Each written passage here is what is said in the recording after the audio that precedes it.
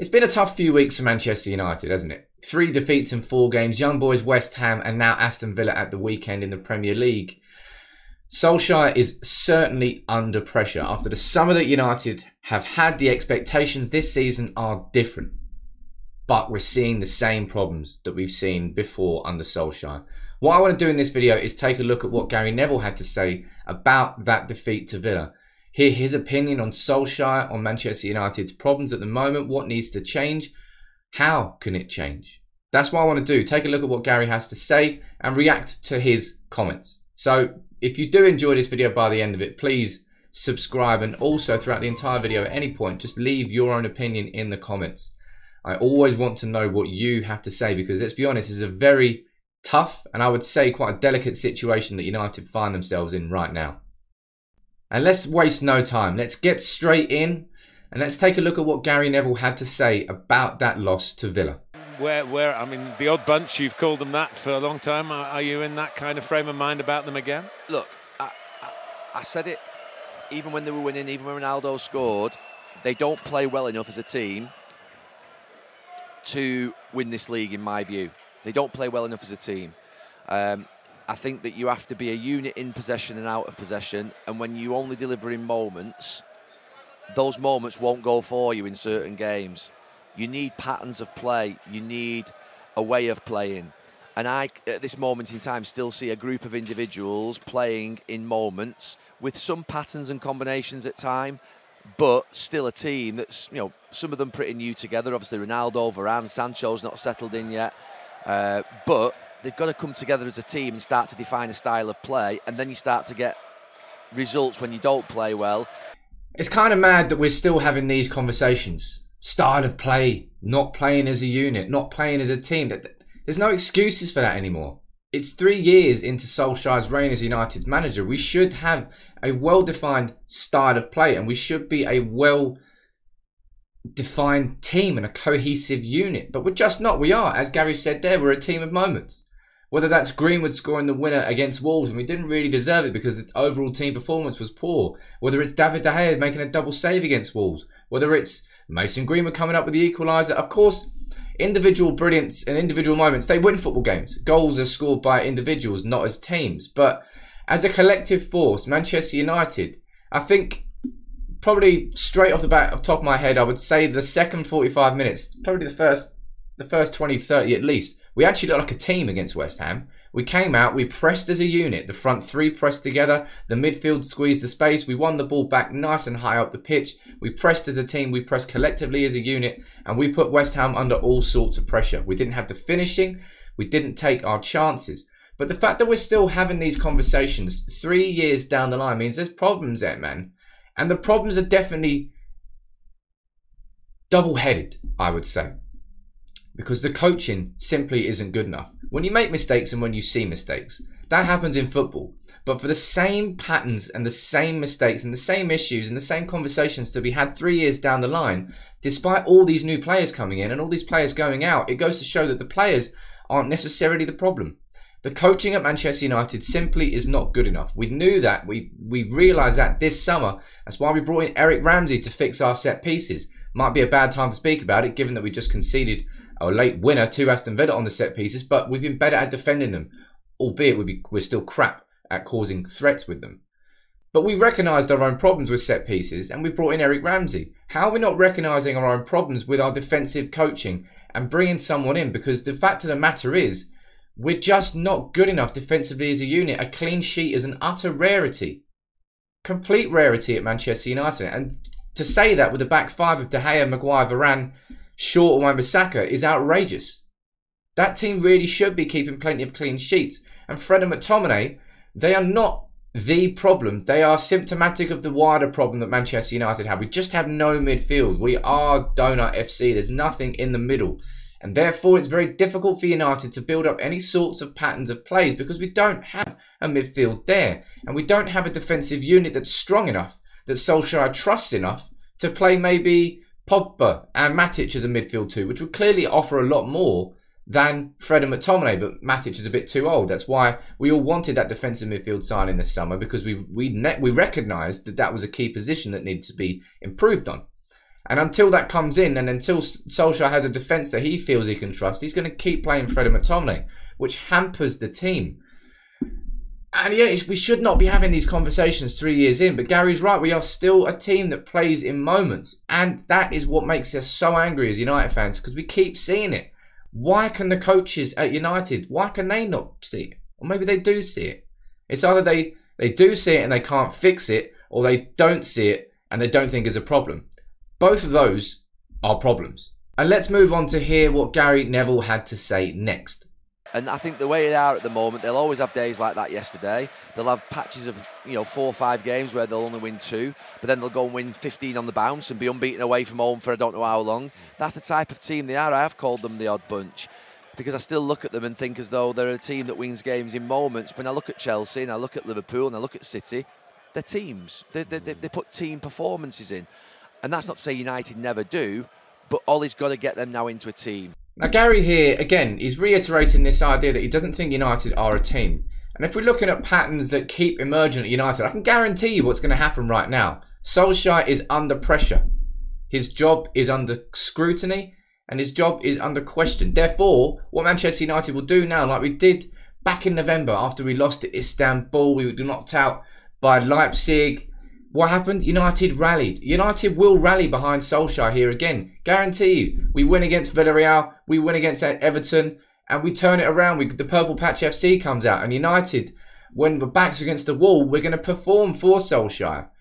But we always do that. We've done that three or four times. We'll probably repeat that pattern now. If we don't repeat that pattern, I would say that's when real concerns will have to come out. I mean, it's not as if the concerns aren't real now, but you know what I mean. Solskjaer somehow gets these players playing massively differently when our backs are against the wall, not when we have the opportunity to go and take a leap. Look, if we won that game against Villa, we would sit, be sitting top of the Premier League right now because Liverpool drew against Brentford and Chelsea lost.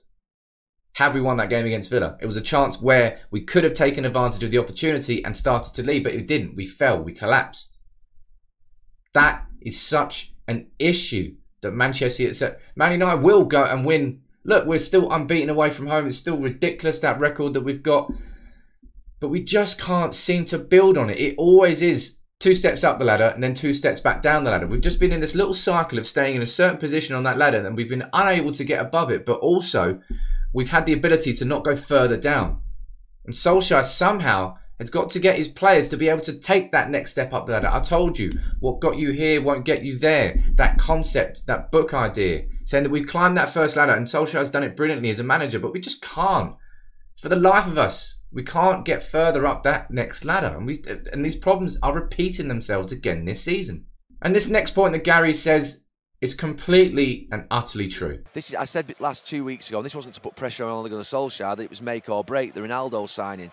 That's not me putting pressure on the players. It's not me putting pressure on the manager. It's a matter of fact. If you sign Cavani Fernandes, Ronaldo, Sancho, Varane, you've got to then win a trophy at some point in the next 12 to 18 months. This season or next, when Ronaldo's here, that's why it's a make or break signing. So they have to win a trophy. Nobody can disagree with Gary there. And that is why it is different this season. That is why it is different this time around.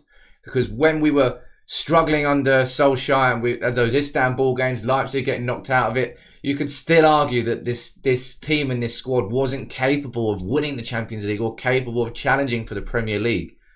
You simply can't have that argument anymore.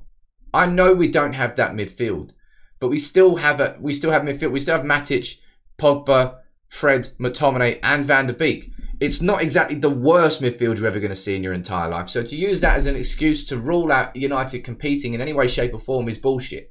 We've got Sancho, we've got Ronaldo, We've got Greenwood, we've got Rashford, we've got Pogba, we've got Bruno, we've got Varane, we've got Maguire, we've got De Gea, we've got Shaw, we've got what? There are so many top level players in that team that you you need to be winning the trophies now.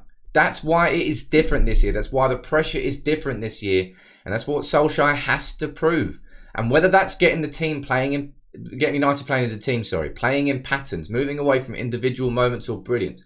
Whatever it is, the problems keep repeating themselves. And if signing new players hasn't resolved those problems, it goes to show that the problems don't specifically lie with the players. And for me, it lies with the coaching that we're seeing, or lack thereof. Defensively, the coaching, we're not a unit together, and you have to be a unit as a defence. If you get, if you don't, you're going to be conceding like United have been. And Gary's right.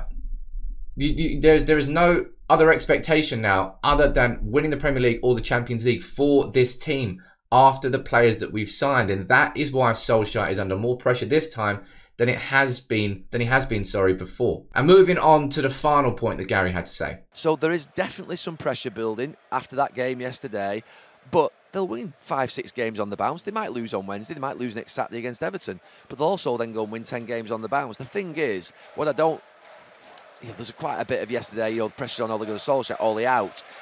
The club have done that in the last 10 years, eight years, and it's not worked. They will see this project through. I don't like calling managerial reigns projects, but they will see this through because I think they've had great managers, world class managers, international managers in the building, and it's not worked for the club, for the fans, style of play, whatever you might call it.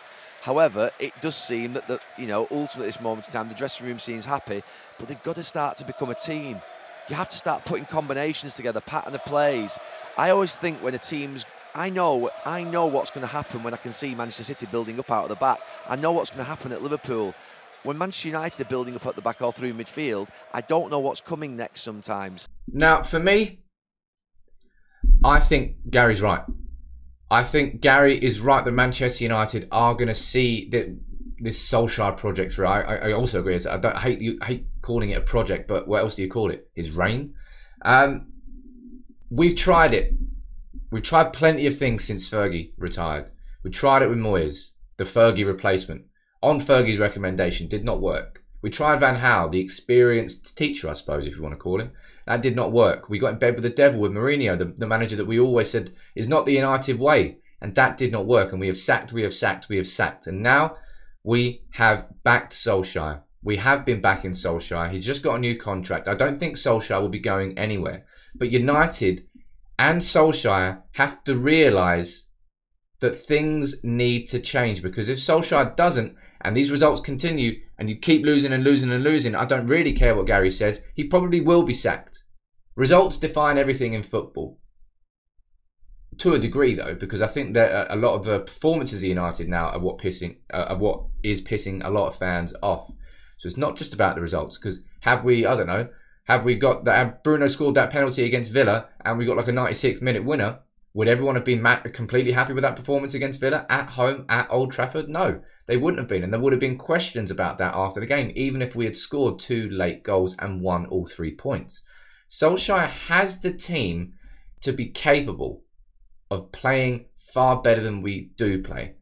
Hell, even in the 4 1 against Newcastle, it took until us conceding an equaliser for the team to really come to life and really burst to life. For me, there's plenty of things that need to change and be improved. But if Solskjaer, Solskjaer right now, he's got two choices. One's a selfish one. One is an idiotic one. The selfish one is that he says, right, okay, so some things need to change. What is it? Because if it, because he either gets himself changed as manager or he changes things that are in and around him. A better coaching setup, maybe better coaching staff, better defensive coach that can come in. Because something has to give. Something has to give at United right now. It simply is not working. Fred and McTominay, they're uh, why keep persisting with it? Stop being so damn stubborn with it, Solskjaer. It's not just that. It's there are so many things as you, as you can tell. Really, I'm a bit lost, a bit confused, a bit pissed off really that I'm seeing the same mistakes coming back in. And I don't think Solskjaer A should be sacked or B will be sacked. So what I need to do now is do my own research really, I suppose. Look into what actually could happen. For me, immediately without doing the research, I think it comes down to the coaching because the, the, the same problems are repeating themselves with different players. Yes, we have to play collectively better as a team and as a unit. We have to be better defensively. There's so many things that we have to be better at. But I want to know what you think about Gary Neville's comments on Solskjaer in the comments below. Let me know what you think about his opinion. Let me know what your genuine, genuine what your opinion is on Solskjaer and what comes next for United. Because for me, it's quite simple. What comes next? We're gonna have a we're gonna have a boom. It's a boom bust cycle. United right now, up down, up down, up down. Not like progressive steps up the ladder. Right now, we're at the we're having a little mini bust, so we're going to have a little mini boom. That's what happens. It's what has happened and those patterns. You say United don't have patterns. This is a pattern that's repeating itself. That has repeated itself plenty of times already and is probably doing it again right now. So expect United to win the next few games, but we've got to kick on from that. We have to kick on. We can't be having these conversations three years in, man. Start a play after three years and we, we still don't have one. That's down to coaching. Really, it is. And I know Solskjaer is the, the, the manager. He's not a good coach, I don't think. He's a good man, a good man management. There's lots of He's got fundamental flaws and gaps in his ability as a manager that needs to be filled by others. So I don't think he's surrounded by the right people. I'm going to go into that in a little bit more depth in another video, but just let me know what you think about Gary Neville's comments there. Where do you stand on Solskjaer? Where do you stand on what Gary had to say? And if you enjoyed the video, please drop a like and subscribe to United People's TV. But I really will be interested to see where you stand on this.